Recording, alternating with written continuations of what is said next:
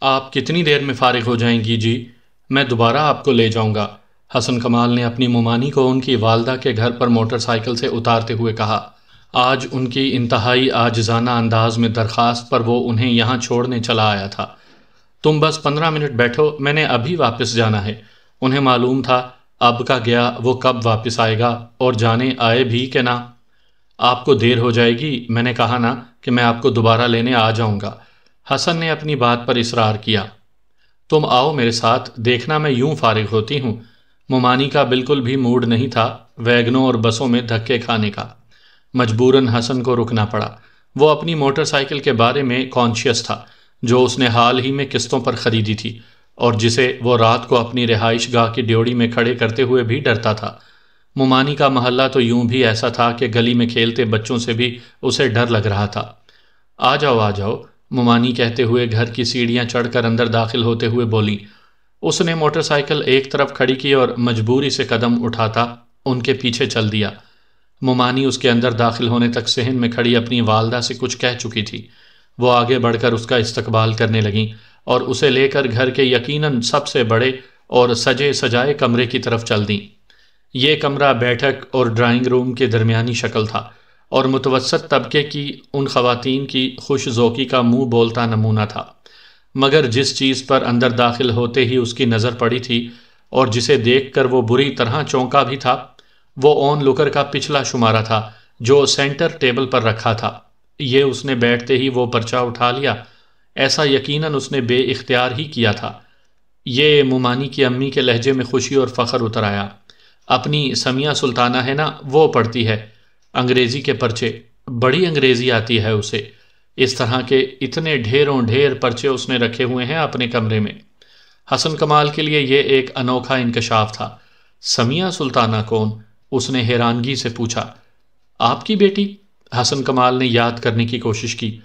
اچھا آپ کی بیٹی۔ یاد نہ آنے پر اس نے ہونکوں کی طرح کہا۔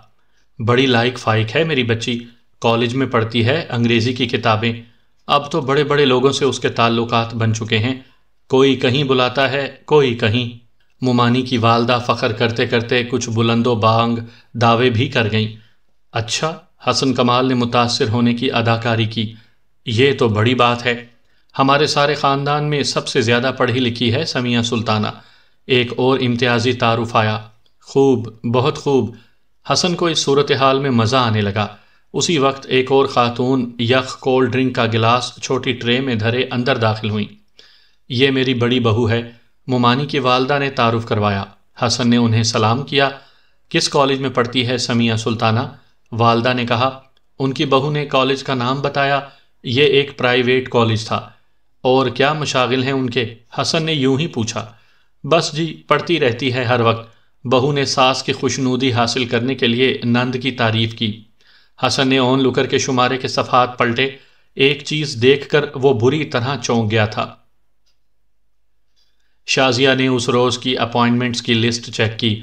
Mr Alvi, Mrs Shehzad, Mrs Bilal, Mr Saeed Razi Mr Tariq Janjua Mr Taimur Usman, Mrs Goraya computer screen پر نظر دوڑاتے دوڑاتے وہ چونکی۔ مسز گورائیا اس نے اپنے دل میں دہرایا۔ گورائیا یہ نام چند دن پہلے بھی اس نے کہیں سنا تھا۔ کہاں اس نے یاد کیا؟ مقصود احمد گورائیا اسے یاد آ گیا اور اس کے ساتھ ہی فیضان کا مسکراتا ہوا چہرہ اس کی نظروں کے سامنے آ گیا۔ اس روز کے بعد فیضان سے اس کا دوبارہ رابطہ نہیں ہوا تھا اور وہ ایسا دانستہ نہیں کر رہی تھی۔ یقیناً وہ دوسری طرف بھی یہی صورتحال تھی۔ شازیہ مسکراتے ہوئے کمپیوٹر کی دبانے لگی۔ پھر کلائنٹس آنے شروع ہو گئے۔ شام سات بجے مسز گورائیا بھی آ گئیں۔ اس وقت ڈاکٹر صبور تیمور عثمان کے ساتھ مصروف تھے۔ مسز گورائیا اپنے اسی تنتنے کے ساتھ اس کے ساتھ بیٹھی تھیں۔ اس روز شازیہ نے پہلی مرتبہ ان کو فرصت اور تفصیل کے ساتھ دیکھا۔ ان کا لباس اور انداز بہت ہی مختلف تھا۔ اس نے بطور خاص ان کے پاؤں دیکھے، جو سلور خصوں میں مقید تھے۔ انہوں نے سفید چوڑی دار پجامے کے ساتھ آسمانی قمیض پہن رکھی تھی، جس کے گلے اور آستینوں پر آسمانی اور سلور ہلکی ہلکی کڑائی ہوئی تھی۔ ان کی شخصیت میں ایک عجیب سا روب تھا۔ شازیہ ان کے بغیر بولے ہی مروب ہو رہی تھی۔ یہ کوئی عام شخصیت نہیں۔ ان میں کوئی خاص بات ضرور ہے، اس نے سوچا۔ ڈاکٹر صاحب، مزید کتنی دیر لگائیں گے؟ میرے ڈرائیور کو کسی کام سے جانا ہے، کہیں اور۔ اور عین مقررہ وقت پر میں پہنچی ہوں۔ دس منٹ انتظار کرنے کے بعد مسز گورائیا نے سخت لہجے میں پوچھا۔ ایک تو یہ پیسہ، یہ اسٹیٹس اور اس کا غرور۔ شازیہ نے ان کے طرز تخاتب پر بھنا کر سوچا۔ بعض اوقات اپنے کلائنٹ کی ذہنی تسلی کے لیے ڈاکٹر صاحب اسے کچھ زیادہ وقت دے دیتے ہیں۔ شازیہ نے مخصوص مسکراہٹ کے ساتھ جواب دیا جبکہ اس کے دل میں آگ لگی ہوئی تھی۔ ہوں ہوں انہوں نے نخوت سے سر کو جھٹکا دیا اور اپنے پرس میں سے اپنا موبائل نکال کر کوئی نمبر دبانے لگیں۔ ہاں فتح خان، انہوں نے دوسری طرف سے فون رسیو کیے جانے پر کہا، بھائی، یہاں تو کچھ زیادہ وقت لگ جائے گا، اب کرامت کا کیا کروں؟ اس غریب کو جانا تھا، اپنی گھر والی کو لے کر دوسری جانب سے نہ جانے کیا جواب دیا گیا۔ تم ایسا کرو اسپیشل رکشہ کر کے خود یہاں پہنچ جاؤ، یہاں کرامت کو فارغ کر دیتے ہیں، واپسی پر گاڑی تم چلا لینا۔ انہوں نے کہا، کیا کہا؟ رشید صاحب اور حکیم صاحب آئے بیٹھے ہیں۔ کالے نواب کا فون بھی آیا تھا۔ اب وہ کسی دوسرے موضوع پر بات کرنے لگیں۔ عجیب اتفاق ہے، پہلے تو یہ لوگ کبھی یوں اکٹھے جمع نہیں ہوئے۔ اچھا تم ایسا کرو انہیں بسنتی اور اختری کے حوالے کر کے خود چلے آؤ۔ نہیں بھائی، مرزا صاحب کے ڈرائیور کو ادھر بھجوانے کی ضرورت نہیں ہے۔ وہ یہاں آ کر کیا کیا سوال نہ پوچھے گا۔ بس تم ویسا کرو جیسا میں نے کہا ہے۔ انہوں نے فون بند کر دیا۔ ایک بچہ آتا ہے ڈاکٹر صاحب کے پاس، سلمان۔ فون بند کرتے ہی انہوں نے شازیہ کو مخاطب کیا۔ کتنے دن پہلے آیا تھا وہ ادھر؟ سلمان؟ شازیہ نے یاد کیا اور پھر اس کے ذہن میں ایک جھماکا سا ہوا۔ سلمان مقصود؟ اس نے بے اختیار کہا ہاں انہوں نے سر ہلایا۔ وہ یہاں نہیں آتا۔ ڈاکٹر صاحب اس کا ٹریٹمنٹ کہیں اور کر رہے ہیں۔ شازیہ نے مختصر جواب دیا، مگر اس کے دل میں عجیب سے خیالات امڑ رہے تھے۔ آپ ڈاکٹر صاحب سے پوچھیں کتنا ٹائم اور لیں گے۔ اب وہ ذرا بے قراری سے بولیں۔ اسی وقت تیمور عثمان ڈاکٹر صاحب کے اندرونی آفس سے باہر نکلے۔ آپ کا نمبر، شازیہ نے مسکرا کر مسز گورائیا کو مخاطب کیا۔ اور ان کے اٹھ کر اندر چلے جانے کے بعد اپنے سامنے رکھے کاغذ پر لائنیں کھینچتے ہوئے کچھ اندازے لگانے لگی۔ مقصود احمد گورائیا، فیضان مقصود، سلمان مقصود، مسز گورائیا۔ مسز گورائیا، اس نے دو مرتبہ اس کاغذ پر لکھا، کہیں کوئی تعلق بنتا ضرور ہے۔ اس نے سوچا، اس کا دل بے اختیار فیضان سے بات کرنے کو چاہا، لیکن اس نے کچھ سوچنے کے بعد ایسا نہیں کیا۔ یہ تو طے ہے کہ مس سمیہ کہ آپ جیسے چہرے کی ہمیں ضرورت ہے۔ سمیہ کے سامنے بیٹھے شخص نے ریوالونگ چیئر پر جھولتے ہوئے کہا۔ سمیہ نے فخریہ نظروں سے قریب بیٹھی رباب کی طرف دیکھا، جو کولڈ ڈرنک پی رہی تھی۔ اور اب تو آپ جانتی ہیں کہ یہ شعبہ کتنا وسیع ہو چکا ہے۔ اس میں ترقی اور شہرت حاصل کرنے کے جتنے چانسز ہیں، اتنے کہیں اور نہیں ملتے۔ وہ نواز وڑائچ تھا جو سمیہ کو قائل کر رہا تھا۔ ہمارے ہر پروجیکٹ کو جتنے سپانسر ملتے ہیں اتنے اللہ کے فضل سے کسی اور کو نہیں ملتے۔ پرائیویٹ چینلز والے ہاتھوں ہاتھ لیتے ہیں ہمارے پروجیکٹ آپ نے تسلی کرنی ہو تو بے شک کر لیں۔ میڈم آپارا اس روز ہچکچاہٹ کا مظاہرہ کر رہی تھیں آپ کے متعلق۔ رباب نے دانستہ طور پر اپنا شک ظاہر کیا۔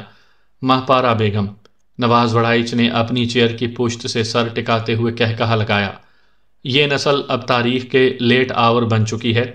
لیڈیز، ان کے خیالات، تصورات اور مشورہ بھی انہی کی طرح فرسودہ ہو چکے ہیں۔ لہٰذا ان کی بات پر کان دھرنے کے بجائے سنہرے مستقبل کے بارے میں سوچیں جو آپ کا منتظر ہے۔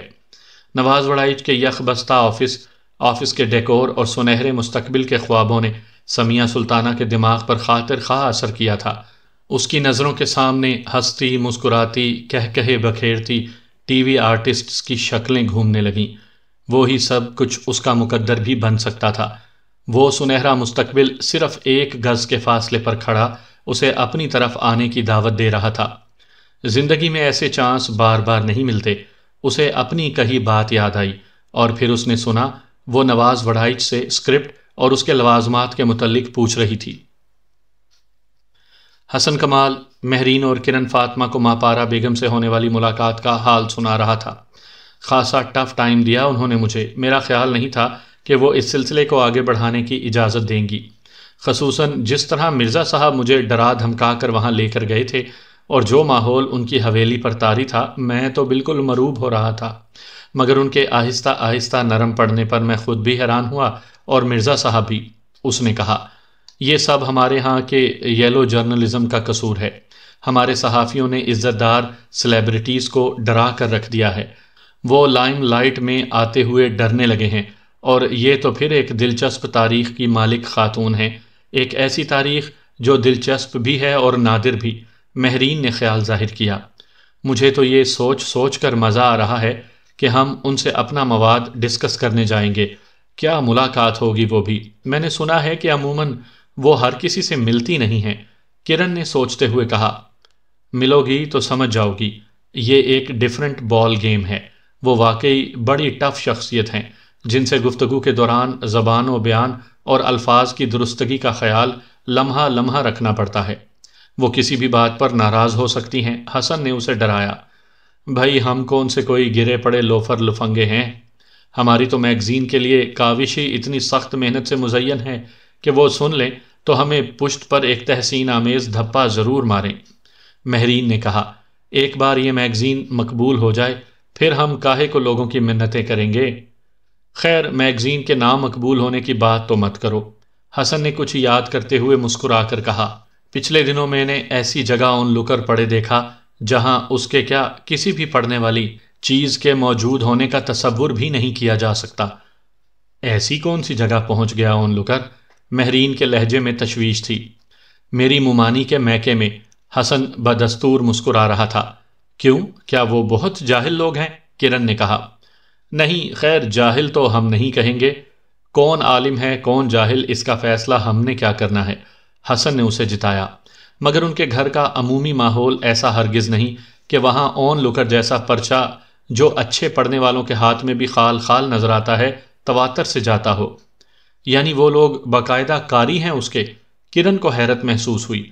وہ لوگ تو نہیں، البتہ ان کے گھر میں ان کی ایک بیٹی ایسی ہے جو اون لکر باقاعدگی سے پڑھتی ہے۔ بڑے بڑے لوگوں سے اس کے تعلقات ہیں۔ حسن کمال نے انکشاف کیا۔ وہ کون خاتون ہیں؟ مہرین نے ناک سکوڑی۔ اس کا نام سمیہ سلطانہ ہے اور وہ میری ممانی کی بہن ہے۔ تمہاری یہ ممانی خود کتنی پڑھی لکھی ہیں؟ کرن نے پوچھا۔ غالباً پانچ جماعتیں پاس ہیں اور عام طور پر ان کا رویہ ویسا ہی ہوتا ہے جیسا اس طبقے کی خواتین کا ہوتا ہے۔ اور یہ سمیہ سلطانہ، تم نے کبھی دیکھا ہے انہیں؟ حسن نے بتایا۔ اس لڑکی سے ملاقات کرنی چاہیے۔ اس لیے نہیں کہ اس ماحول میں وہ پڑھی لکھی ہے، بلکہ اون لکر بھی باقاعدگی سے پڑھتی ہے۔ یہ بات دلچسپ بھی ہے اور عجیب بھی۔ اون لکر میں اسے کیا خاص بات اور اچھی لگتی ہے جو وہ اسے خریدتی اور پڑھتی ہے۔ کرن نے اس بات میں غیر معمولی دلچسپی لیتے ہوئے کہا، کوشش کرتے ہیں کہ اس لڑکی سے بھی ملاقات ہو جائے۔ چلو، یہ اگلا ہفتہ ملاقاتوں کا ٹھہرا۔ مہاپارا بیگم سے اور سمیہ سلطانہ سے۔ دیکھو کون سی ملاقات زیادہ دلچسپ رہتی ہے۔ میرا دل چاہ رہا ہے کہ آج میں جلدی گھر پہنچ جاؤں اور اپنے چچا میاں کو بتاؤں کہ ہم لوگ ماپارا بیگم سے ملنے والے ہیں۔ کرن کو دوسری بات سوجھی۔ اسی وقت نعیم کمرے میں داخل ہوا۔ آج آپ لوگوں والا کام میں نے کیا ہے، اس نے ان کی طرف آتے ہوئے کہا۔ کیا وہ تینوں بیک وقت بولے۔ میں شہر بھر کی چھوٹی بڑی خبریں اکٹھی کر کے لایا ہوں۔ میرا ایک دوست ایک روز نامے میں کام کرتا ہے، رپورٹر ہے۔ وہ شو بز کے صفحے کا۔ اتفاق سے آج اس سے ملاقات ہو گئی۔ اس کے پاس نئی نئی اور تازہ تازہ خبریں موجود تھیں۔ نعیم نے اپنی ڈائری ان کے درمیان رکھتے ہوئے کہا Hollywood Bali would lolly would وہ سب آواز بلند نعیم کی لکھی شہ سرخیاں پڑھ کر ہنس رہے تھے۔ ٹی وی راؤنڈ اپ، کرن نے ایک اور سرخی پڑھی۔ با وفا، نواز وڑائچ کی نئی ڈرامہ سیریل کے لیے پانچ نئے چہرے۔ پرویز میر، عارفہ خان سلیم نواز، سمیہ سلطانہ کرن پڑھتے پڑھتے رک گئی۔ سمیہ سلطانہ؟ حسن کمال نے فوراً دہرایا اور نعیم کی ڈائری کرن کے ہاتھ سے لے لی۔ امپاسبل اس نے سر ہلایا۔ وہ لڑکی نہیں ہو سکتی۔ اس کے گھرانے میں تو اس قسم کا تصور کیا ہی نہیں جا سکتا۔ ابھی تم نے کہا تھا کہ بڑے بڑے لوگوں سے اس کے تعلقات ہیں۔ کرن نے اسے یاد دلایا۔ یہ تو اس کی والدہ نے سادگی میں کہا تھا۔ اس بیچاری کو کون سے بڑے لوگوں سے تعلقات ہو سکتے ہیں؟ حسن نے کہا چلو ہم اس سے ملاقات تو کرنے والے ہی ہیں۔ دیکھتے ہیں کہ یہ سمیہ سلطانہ کون سی ہے۔ ویسے ناموں میں مماثلت تو بہت زیادہ ہے، کرن نے کہا۔ چودھری صاحب کا فون ہے جی آپ کو یاد فرما رہی ہیں۔ فتح خان نے ریاض میں مشغول ماپارا بیگم کی محویت توڑی۔ عموماً وہ اور دوسرے ملازمین یہ جرت ان کے ریاض کے دوران نہیں کیا کرتے تھے۔ مگر یہ فون ایک ایسی شخصیت کا تھا جس کے متعلق بتانا ضروری تھا۔ معلوم ہے مجھے یہ فون کس سلسلے میں آیا ہے۔ ماں پارا بیگم نے ستار ایک جانب رکھتے ہوئے کہا، فتح خان چودھری صاحب کو اچھی طرح معلوم ہے کہ میں اس وقت ریاض میں مشغول ہوتی ہوں۔ جی حضور، فتح خان نے ہاتھ باندھے باندھے سر جھکا کر کہا، کہہ دو ان سے کہ میں مصروف ہوں اپنے کام میں، اور یہ بھی کہہ دینا کہ جس سلسلے میں انہوں نے فون کیا ہے، وہ مجھے معلوم ہے۔ اس کا جواب میں پرسوں انہیں دے چکی ہوں۔ آپ بات سن لیں حضور۔ کیا معلوم کوئی اور بات کہنی ہو؟ فتح خان نے کہا۔ فتح خان، ماں پارا بیگم نے ابرو چڑھا کر کہا۔ کیا اس مرتبہ بہت بھاری بخشش مل گئی تھی؟ چودھری صاحب سے جو یوں ان کی طرف داری کی جا رہی ہے۔ ایسی بات نہیں ہے جناب۔ چودھری صاحب سے تعلق آپ کی خاطر ہے۔ ان کی خدمت ناز برداری آپ کی وجہ سے ہے۔ اسی لیے آپ سے عرض کی تھی کہ آپ فون سن لیں۔ فتح خان نے آجزی سے کہا۔ تم نے کہہ دیا، میں نے سن لیا۔ اب ان کو وہی جواب دے دو جو میں نے کہا ہے۔ ماں پارا بیگم نے فیصلہ کن لہجے میں کہا اور ستار دوبارہ اٹھا لیا۔ ان کی انگلیاں ستار کے تاروں پر پھرنے لگیں۔ فتح خان کچھ دیر یوں ہی کھڑا انہیں دیکھتا رہا اور پھر ان کو مگن دیکھ کر واپس چلا گیا۔ اس روز شازیہ نے فیضان کو اپنے سامنے پا کر حیران ہوتے ہوئے اپوائنٹمنٹ لسٹ ایک مرتبہ پھر چیک کی۔ میں اپنے وعدے پر قائم ہوں اب تک۔ فیضان نے اسے پریشان دیکھ کر کہا۔ تمہاری اپوائنٹمنٹ لسٹ میں ایم اے گورائیا کا نام موجود ہے یا نہیں؟ شازیہ پہلے ہی دیکھ چکی تھی یہ نام، اس لسٹ میں موجود تھا۔ یہ میرے والد کا نام ہے اور حسب معمول وہ یہاں پہنچ نہیں سکے۔ لہٰذا یہ اپوائنٹمنٹ بھگتانے کے لیے یہ فدوی حاضر ہے۔ شازیہ کو اس کی بات پر ہنسی آ گئی۔ میں تمہاری کال کا منتظر رہا اتنے دن۔ کچھ دیر خاموش بیٹھے رہنے کے بعد اس نے کہا، شازیہ نے نظر اٹھا کر وزٹر سیٹس پر بیٹھے دو لوگوں کو دیکھا، وہ اخبار پڑھنے میں مشغول تھے۔ میں نے کال کرنے کا وعدہ نہیں کیا تھا۔ شازیہ نے نیچی آواز میں کہا، وہ بظاہر اپنے کام میں مصروف تھی۔ ہاں یہ بھی ٹھیک ہے، لیکن وہ جو انسان کو ایک امید سی ہوتی ہے نا، وہ بہرحال مجھے تھی۔ لیکن تم خاصی بے نیاز قسم کی خاتون ہو۔ فیضان نے اپنے مخصوص انداز میں مسکراتے ہوئے کہا، آپ کا بھائی سلمان کیسا ہے اب؟ شازیہ نے یہ بات بھی نیچی آواز میں پوچھی تھی، وہ بہتر ہو رہا ہے، خاصی امپروومنٹ ہے اس کی کنڈیشن میں، مگر وہ ابا کو دیکھ کر گھبرا جاتا ہے اور ان پر نظر پڑتے ہی اپنی پرانی حالت میں لوٹ جاتا ہے۔ اس کے اس سوال پر فیضان نے کہا، ڈاکٹر عبدالصبور نے اس کی اس حالت کے بارے میں کچھ بتایا نہیں، کیوں ہو جاتی ہے؟ شازیہ یہاں آنے والوں سے ایسی بات پوچھنے کی عادی نہیں تھی، مگر وہ فیضان تھا جو خود ہی اس کے ساتھ بے تکلفی سے بات کرتا تھا۔ وہ دیکھ رہے ہیں، سارے معاملے کو جانچ رہے ہیں۔ اس کے سلسلے میں انہوں نے سلمان سے تعلق رکھنے والے کئی لوگوں سے بات کرنے کا ارادہ بھی کیا ہے۔ اچھا جب ہی اچانک شازیہ کو اس روز والی خاتون یاد آ گئیں۔ کیا جب ہی ایک روز مسز گورائیا نام کی ایک خاتون آئی تھیں، وہ بھی سلمان کے بارے میں پوچھ رہی تھی مسز گورائیا فیضان نے زور دے کر کہا ہو از شی وہ کون تھی؟ معلوم نہیں۔ شازیہ نے شانے اچکائے اور پھر اسے تفصیل سے ان خاتون کا حلیہ بتایا۔ ایسی کوئی خاتون میری نظر سے تو کبھی نہیں گزری۔ فیضان نے کچھ سوچتے ہوئے کہا، اور انہوں نے خود کو مسز گورائیا کہہ کر متعارف کروایا۔ ہاں وہ پہلے بھی ایک مرتبہ آئی تھیں۔ اس وقت مجھے معلوم نہیں ہو سکا تھا کہ وہ کس سلسلے میں آئی تھیں۔ اس بار تو انہوں نے خود سلمان کے بارے میں پوچھا تھا۔ ہو سکتا ہے وہ آپ کے والد کی دوسری مسز ہوں۔ شازیہ نے اپنا قیافہ ظاہر کیا۔ ڈونٹ ٹیل می فیضان ناراض سا ہو کر بولا، میرے والد کی نہ دوسری نہ تیسری کوئی بھی مسز نہیں ہے۔ میری والدہ ان کی زندگی میں نہیں رہیں ان کے بعد انہوں نے شادی وغیرہ کا کوئی سلسلہ نہیں کیا۔ یہ مجھے بہت اچھی طرح معلوم ہے۔ میری بوا جی اور تائی جی دونوں ہی بہت اصرار کے ساتھ انہیں یہ کام کر لینے کا کہتی رہیں، مگر وہ نہیں مانے۔ پھر یہ خاتون آپ کی تائی جی بھی تو ہو سکتی ہیں۔ شازیہ نے ایک اور خیال ظاہر کیا۔ قطعی نہیں۔ میری تائی جی تو سیدھی سادی نمازی پرہیزگار خاتون ہیں اور ہمارے علاقے سے کوئی خاتون نکلے اور ہمیں علم نہ ہو، یہ ہو نہیں سکتا۔ کوئی اور معاملہ ہے۔ اچھا پھر تو یہ نہ سمجھ میں آنے والا معاملہ ہے۔ اس کا کیا کیا جائے؟ بہتر ہے کہ اس پر بات ہی ختم کر دی جائے۔ شازیہ یعنی نے ڈاکٹر صاحب کے کمرے سے باہر آتے شخص کو دیکھ کر اسے یاد آ گیا تھا کہ وہ اپنی ڈیوٹی پر بیٹھی تھی۔ فیضان اس کی سوچ کو پڑھ چکا تھا، اسی لیے خاموشی سے ایک طرف بیٹھ گیا تھا۔ مگر اس کے چہرے پر تفکر کے اثرات تھے۔ ایک فیور مجھے دینا، ڈاکٹر صاحب سے ملنے کے بعد باہر نکل کر اس نے ایک مرتبہ پھر شازیہ کو مخاطب کیا۔ شازیہ نے سر اٹھا کر اسے دیکھا۔ اب جب بھی کبھی یہ خاتون یہاں آئے، جنہیں تم مسز گورائیا کہتی ہو، مجھے کال کر دینا۔ میں بھی یہاں آ جاؤں گا۔ تم اتنا تو کر سکتی ہو نا؟ اس نے امید افزا نظروں سے شازیہ کو دیکھا۔ ٹھیک ہے، اب وہ آئیں تو میں ایسا ہی کروں گی۔ شازیہ کو اچانک ہی اس معاملے سے خوف آنے لگا تھا۔ نہ جانے کیا بات ہے جو اسے بھی اس کا علم نہیں ہے اور وہ ڈاکٹر صاحب کو باقاعدہ وزٹ کرتی ہیں۔ شازیہ ڈاکٹر عبد الصبور سے یہ معاملہ ڈسکس کرنے کی ہمت نہیں کر سکتی تھی۔ اور اگر فیضان نے ان کے بارے میں ڈاکٹر صاحب سے پوچھ لیا اور انہیں یہ بھی بتا دیا کہ اسے ان کے بارے میں مجھ سے پتا چلا ہے تو پھر اس کی ریڑھ کی ہڈی میں ایک لہر دوڑ گئی۔ سلمان کے متعلق پوچھنے کے لیے ڈاکٹر عبد الصبور کے پاس بار بار آپ کا جانا بہت سے ایسے سوالات اٹھا سکتا ہے۔ جن کے جواب نہ آپ دے سکیں گی نہ میں۔ ماپارا بیگم نے بڑے سکون کے ساتھ اپنے سامنے بیٹھے شخص کی یہ بات سنی تھی۔ وہ اس شخص کے منہ سے یہ بات سننے کے بہت دنوں سے توقع کر رہی تھی۔ کیا اب بھی اتنے برس گزر جانے کے بعد بھی آپ کو سوالات اٹھائے جانے کا خوف ہے؟ جبکہ آپ کے متعلق حوالوں سے اٹھائے جانے والے سوالات کا کوئی شمار ہی نہیں۔ ماپارا بیگم کو خود محسوس ہوا ہے کہ اپنے مخاطب سے بات کرتے ہوئے زندگی میں پہلی بار ان کے لہجے میں اور انداز میں اعتماد آیا تھا۔ ہم ان کے سامنے بیٹھے شخص نے ان کے انداز اور سوال پر غور کرنے کے بعد کہا، وہ ایک ذہین شخص تھا اور یقیناً جان چکا تھا کہ ماپارا بیگم کے لہجے میں کوئی بات نئی سی تھی۔ میری تو خیر ہے بیگم صاحبہ، آپ اپنے متعلق غور کیجیے۔ کیا اس عمر میں آپ اس قسم کے سوالات کے جواب دے لیں گی؟ خوب ماہ پارا بیگم مسکرائیں۔ بات یہ ہے چودھری صاحب کہ نت نئی سجھانے کی آپ کی عادت پرانی ہے، جو کسی طرح بھی جاتی دکھائی نہیں دیتی۔ رہا عمر اور سوالات کا معاملہ تو یہ میرا درد سر ہے کہ مجھے کس بات کا اور کون سے حالات کا سامنا کرنا پڑتا ہے۔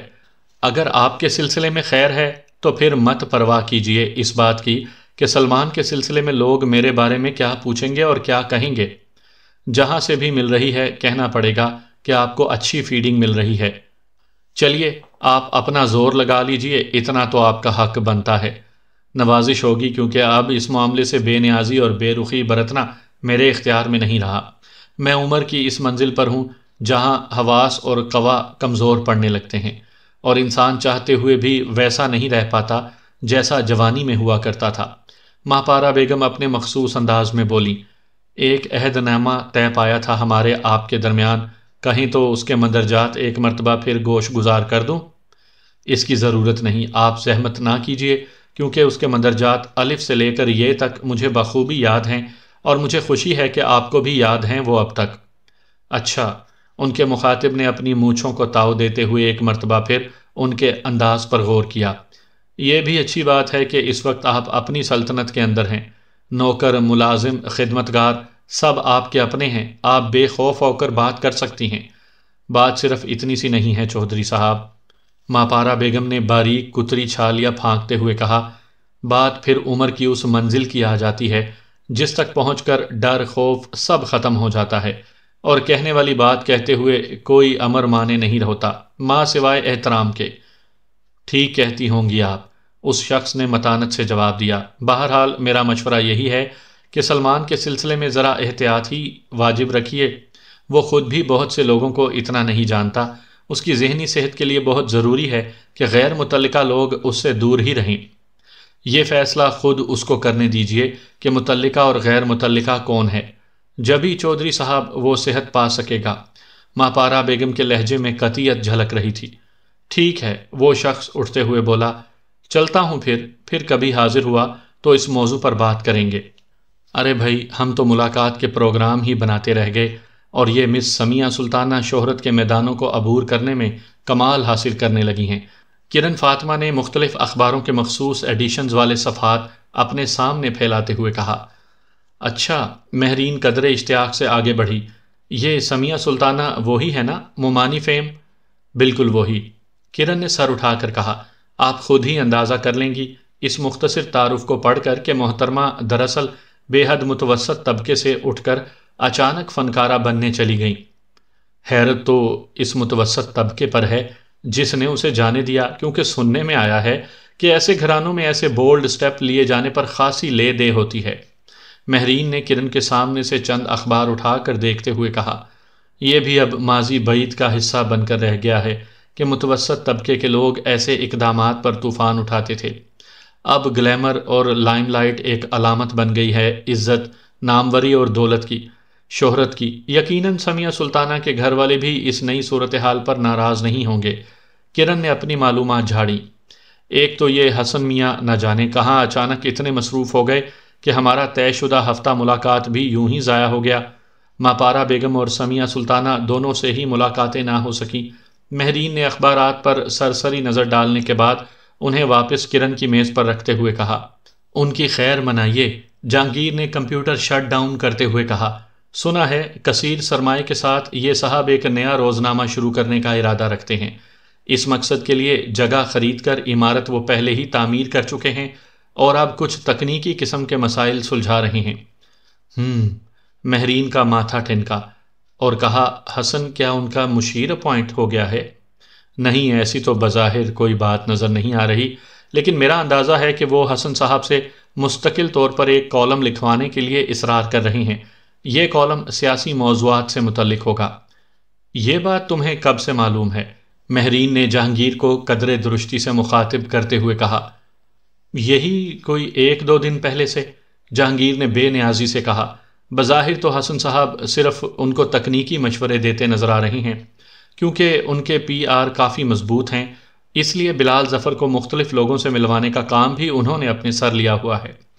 کمال ہے، مہرین نے کرن کی طرف دیکھتے ہوئے کہا، ہم آفس میں اس کے تھوڑی دیر کے لیے آنے کو آن لکر کے ہی کسی کام کے سلسلے کی مصروفیت سمجھتے رہے اور وہ بلال کے کام کرتا پھر رہا ہے۔ اس میں گھبرانے یا غصہ کرنے والی بات کیا ہے؟ میم دوست ہی دوستوں کے کام آتے ہیں اور حسن تو خاصے دوست دار آدمی ہیں۔ بلال ظفر کا کام سیٹ ہو گیا تو فارغ ہو جائیں گے۔ حسن صاحب بھی۔ کرن نے اسے تسلی دینے کے سے انداز میں کہا، یہ تو محض خیال ہی ہے نا۔ دل کو بہلانے والا مفروضہ۔ مہرین نے اپنی سیٹ پر بیٹھتے ہوئے کہا، ورنہ جس حسن کو میں جانتی ہوں، وہ یوں ہی اپنا کام چھوڑ کر دوسروں کی مدد کرتے پھرنے کا قائل نہیں۔ اور وہ بھی اب جبکہ پرچہ پریس میں جانے میں کچھ دن ہی باقی ہیں، اور اس کا بہت سا کام باقی ہے۔ خصوصاً ماہپارا کے متعلق مضمون کی دوسری قسط شائع ہونے سے پہلے ایک بار ان کو دکھانے والی شرط پوری کرنے والی بات اتنی اہم ہے کہ حسن اس کو نظر انداز کر ہی نہیں سکتا۔ پلیز ڈونٹ وری میم، میں ابھی حسن صاحب کو کانٹیکٹ کرتی ہوں اور انہیں یہ سب کام یاد دلاتی ہوں۔ جو مجھے یقین ہے کہ وہ کبھی بھی نہیں بھولے ہوں گے۔ کرن نے اپنے موبائل پر حسن کا نمبر پریس کرتے ہوئے کہا، وہ فون اٹینڈ نہیں کر رہے۔ کچھ دیر بعد اس نے موبائل کان سے ہٹا کر کہا، دیکھا؟ مہرین نے یوں کہا، جیسے کہہ رہی ہو کہ میری بات درست تھی۔ ایسا کرتے ہیں کہ جو کچھ اس بار ہم نے ماپارا بیگم کے متعلق لکھا ہے، اسے دن کو دکھانے کے لیے ہم خود ان سے ملنے چلے جاتے ہیں۔ اب ایسا بھی نہیں کہ وہ ہم سے ملنا ہی پسند نہیں کریں گے۔ کرن نے ایک اور راستہ سجھایا۔ یہ بات نہیں ہے۔ مہرین قدرے مایوسی سے بولی، میرا خیال ہے کہ حسن تمہارے ساتھ ہوتا تو زیادہ بہتر تھا، کیونکہ اس کی ان سے شناسائی ہے۔ اور جہاں تک میرا تعلق ہے، مجھے تو آج اے پی این سی کی میٹنگ اٹینڈ کرنے جانا ہے۔ تو پھر میں اور جہانگیر چلے جاتے ہیں۔ کیوں جہانگیر؟ چلیں۔ اندرون شہر فالودہ اور گول گپے کھانے۔ کرن نے خوش دلی سے جہانگیر کی طرف دیکھتے ہوئے کہا، اپن کو تو کوئی اعتراض نہیں ہے، جہاں مرضی لے چلیے۔ جہانگیر نے مسخرے پن سے کہا، اوف مہرین نے جھنجھلا کر کہا، میں نے کہا نا کہ وہاں جانے کے لیے حسن کا ساتھ ہونا بہت ضروری ہے۔ یہ کمٹمنٹ وہی ان سے کر کے آیا تھا اور وہی اس کو نبھائے گا بھی۔ جہانگیر نے کچھ کہنے کے لیے منہ کھولا۔ کرن نے ہاتھ کے اشارے سے اسے خاموش رہنے کو کہا اور متانت سے مہرین سے مخاطب ہوئی۔ ٹھیک ہے میم، ہم حسن کے آنے کا یا اس سے رابطہ ہونے کا انتظار کر لیتے ہیں، پھر مل لیں گے ماہ پارا بیگم سے۔ مہرین واپس اپنی ٹیبل کی طرف چلی گئی۔ اصل بات تو یہ ہے مہرین کے آنی کہ تم اس پرچے کو چلانے کے لیے حسن کمال نامی بیساکھی کی اتنی عادی ہو گئی ہو کہ دوسرا کوئی شخص تمہیں کتنا ہی اچھا کام کر کے کیوں نہ دے دے، تمہیں تسلی نہیں ہوگی۔ کرن اس روز اپنے کام کے دوران کن اکھیوں سے بوکھلائی ہوئی مہرین کو دیکھتی ہوئے سوچتی رہی۔ خدا جانے تمہاری سوچ کا انجام کیا ہوگا۔ اس نے آخر میں سوچا اور اپنے لکھے ہوئے صفحے کو ایک مرتبہ پھر پڑھنے کی غرض سے اس پر نظر دوڑانے لگی۔